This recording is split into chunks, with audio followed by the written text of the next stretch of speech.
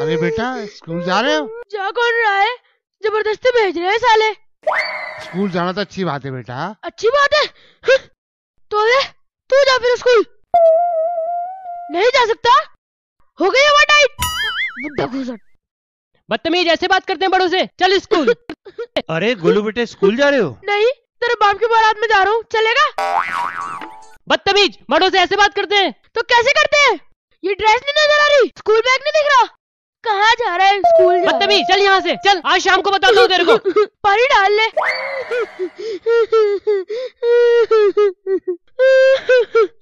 अरे वाह गोलू बेटा स्कूल जा रहा है। तेरा मुर्दा भूखने जा रहा हूँ।